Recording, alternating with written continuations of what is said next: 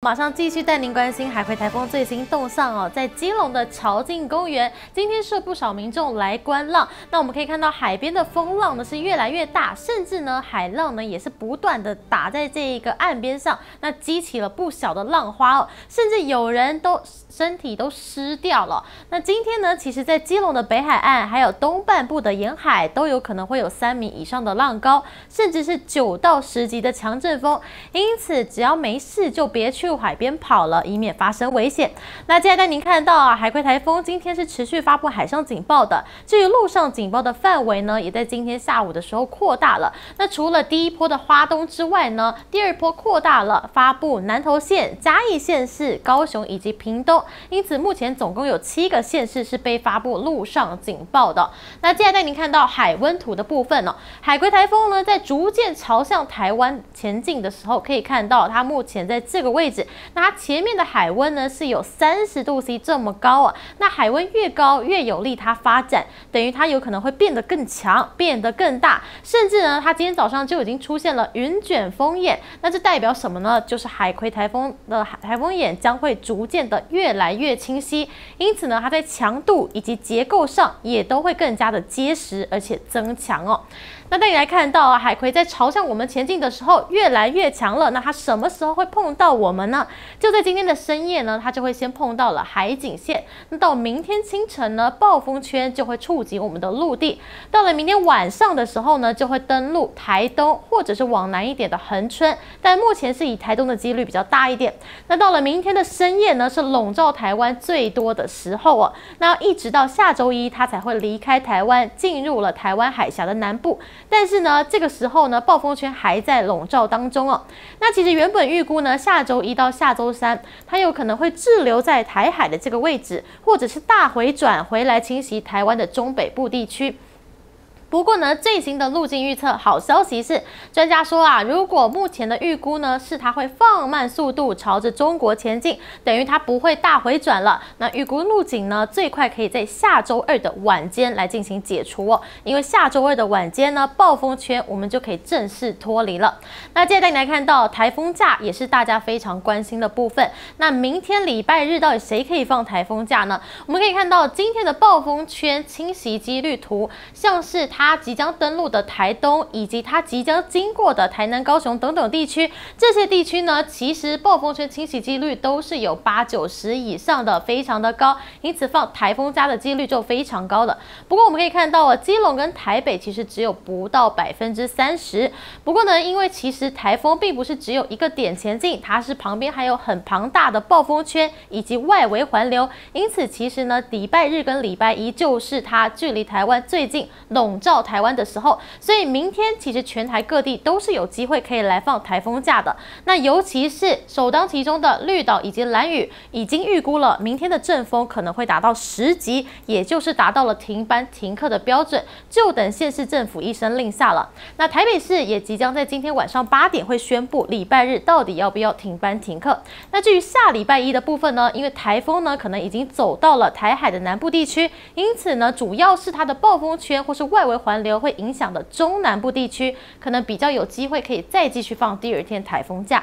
那接下来带您关心雨量的部分，今天越晚呢，各地的降雨就会越明显。可以看到哦，其实今天在北北基宜这些地方呢，雨量都是非常的大的。那甚至呢，气象局呢也是在下午新增了南部地区的大雨特报。那这主要是因为呢，台风来袭。水汽增加，加上午后对流旺盛，主要是午后雷阵雨的形态哦。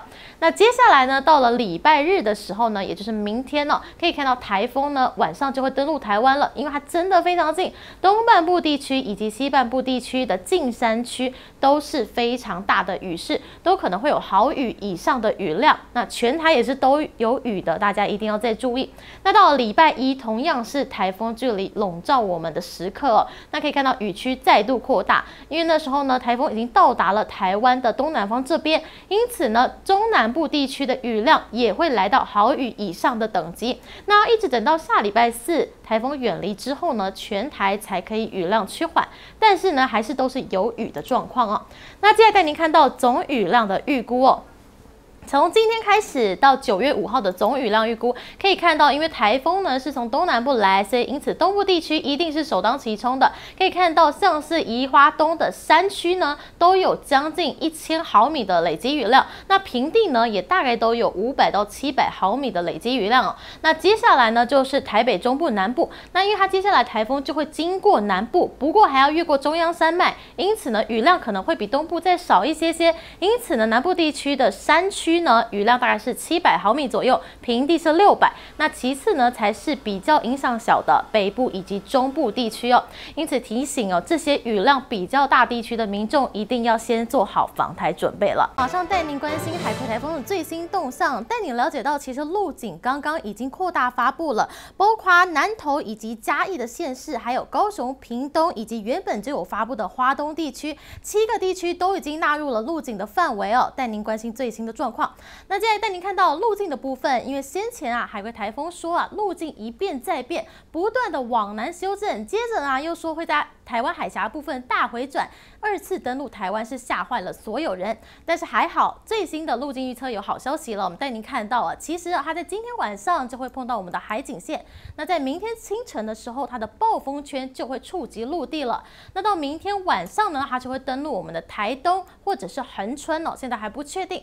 那到明天晚上的九点呢，会是它笼罩台湾最多的时候。那到了下周一，它就会离开台湾，进入海台湾海峡的南部地区。那原原本呢是预估下周一到下周三这个区间呢，它有可能会滞留在台海，或者是大回转回来侵袭台湾。但是因为现在最新预估比较明朗了，专家说啊，目前。他发现应该是会放慢速度朝着中国前进，因此不会回来再袭击台湾了。因此他预估啊，陆警啊在下周二的晚间应该就可以解除了，等于南台湾以及台东的雨量可能可以少一些些了。那带你看到今天最新的海警是持续发布，那陆警是扩大到了七个地区哦，请这些地区的民众都一定要再注意了。那带你来看到台风假的部分，大家也是非常关心的，像是呢台东、屏东其实暴。风圈的侵袭几率都是有超过百分之九十的。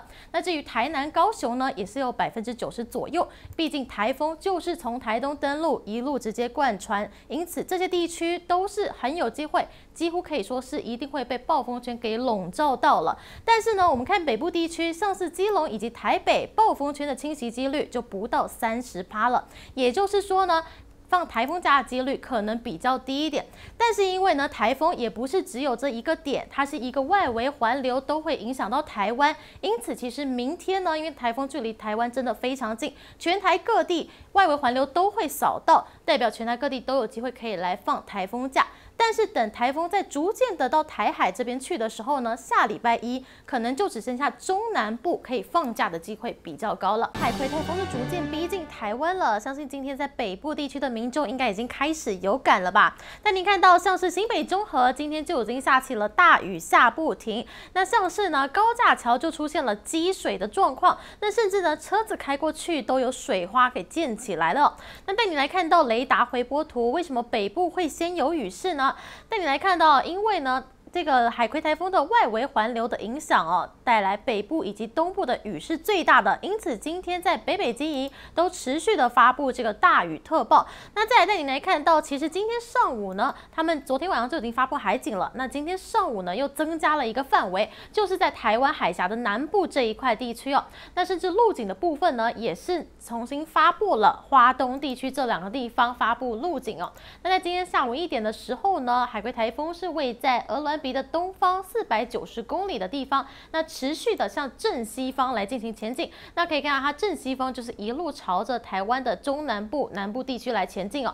那它目前的暴风半径呢是一百五十公里，但气象局预估啊，它在持续的海面上面前进的时候呢，因为吸饱了水汽，它有可能再度的增强，加上暴风半径还有可能再扩大哦。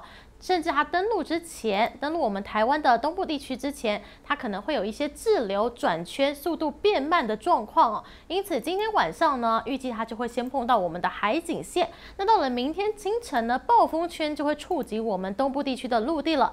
那到了明天晚上呢，它就有机会可能会登陆台东地区，甚至是往南一点的恒春地区都有可能哦。那到明天晚上的九点的时候呢，会是笼罩台湾最多的时候了。那等到下周一。它才会进入，继续往西走，进入到台湾海峡的南部地区。但是你别以为它已经走就没有影响了，下周一到下周三，它有可能会有速度变慢的状况，然后持续缓慢的朝中国前进。因此目前呢还没有办法确定这个雨势是会下到什么时候。那专家预估啊，路径有可能会在下周二解除。那至于下周五呢，整个台风的影响才有可能来到结束哦。那至于台风假呢，大家也很关心，明天全台各地都可能有机会会可以放到台风假。不过呢，下礼拜一中南部地区更有机会可以续放台风假，因为它等于是横穿这个中南部地区的陆地哦。那接下来您看到雨量的部分，今天其实呢越晚呢，各地降雨就会越来越明显，像是北北基就持续发布大雨特报，可以看到这一区就是雨量非常的多。那至于中南部地区的这一区雨量非常多，是因为午后雷阵雨的部分了。那随着台风逐渐接近到今天入夜之后呢，东半部地区可以看到雨势有增加的状况。那到了明天白天呢，也就是周日的白天。海葵台风是登陆了我们，海葵台风即将登陆我们的台东地区，因此可以看到东部地区呢雨势非常的大，都会有豪大雨甚至豪雨以上的等级的雨量。那全台也都是有雨的，雨的雨量的大小是从东部一路往西延伸。那接下来到了明天晚上，也就是周日晚上哦，海葵台风基本上是已经笼罩台湾了。那可以看到它的雨区哦，也扩散到了这一个东南部地区的这个地方哦。可以看到东部地区以及南部地区的雨量都可能会有豪雨以上的等级，所以当地的居民一定要做好防台的准备。那其实除了周日以外呢，雨区非常的大。那周一呢，也是影响非常剧烈的。周一呢，也会像是周日晚上的这张图一样，甚至呢。南部地区会再往北移扩大一点点哦，那一直到下周呢，状况才会再好一些些。那带你来看到啊，其实垦丁哦，现在呢已经开始预警性的封闭沙滩了。可以看到，因为垦丁的风浪已经开始增强了，那甚至啊，除了沙滩不能去，还有活动也都很多取消了。带你来看到啊，其实台湾的十一个国家风景区部分的景点都有封闭的状况，像是龟山岛啊、合欢山、太平山啊，像是日月潭的各个步道，或者是北部的北海岸、白沙湾、浅水湾等等这些地区，没有全部列出。来，但是这些地区大家常去的地区都是这次封闭的范围，请大家有出游的一定要再多注意了。那为什么封闭这么多呢？就是因为风浪真的很大。今天下半天开始，随着台风逐渐的接近台湾，风力就会不断的增强。可以看到说，东北角的中央山脉以及花东沿海。还有最南端的恒春、渔家南一带，其实呢都会有十级以上的强阵风哦。带你来看下一张图，那其他地区呢可能也会有七到九级风的部分哦，一定要再多加注意强风的部分。那至于长浪的部分呢，其实今天在小琉球、蓝屿都有观察到了二点五公尺以上的大浪。那至于鹅銮鼻、花莲、苏澳也是达到了长浪警戒。那我们可以看到，这个是台风中心的浪是有达到八公尺高，但是呢，它这个四公尺高的线呢，也是碰触到了台湾的东部地区，因此其实今天金龙北海岸还有东半部可能都会有三米以上的浪高，那到了明天可能就会更高了，来到四到五米的浪高这么多。请订阅、按赞、分享环宇新闻 YouTube 频道，并开启小铃铛，及时掌握全球时事与最新趋势。